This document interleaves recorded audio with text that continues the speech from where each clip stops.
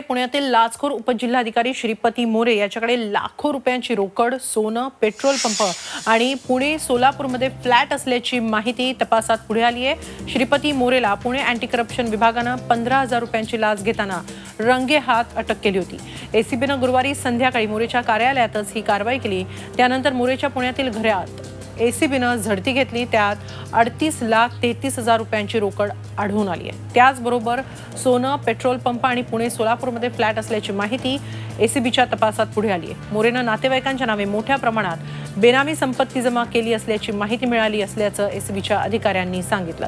या बेनामी मालमत्तांचा शोध एसीबी घेत आहे. हाऊस सर्चमध्ये ॲक्च्युली त्यांचे एक फ्लॅट इथं भाड्यानं राहतात. ते एक फ्लॅट सोलापूरला आहे.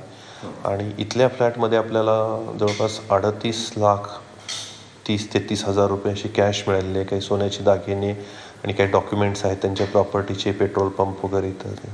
तर त्याच्यावरती आधारित पुढं आता ते उघड चौकशी आम्ही आदेशित आजच करतो आहे आणि बाकीचा सोलापूरचा जो फ्लॅट आहे तो लॉक आहे. तर त्याची असं प्रॉपर प्रोसिजर फॉलो करून तिथला सुद्धा सर्च आज किंवा उद्यापर्यंत घेतलं घेण्यात येईल. झी चोवीस तास. रहा एक पाऊल पुढे.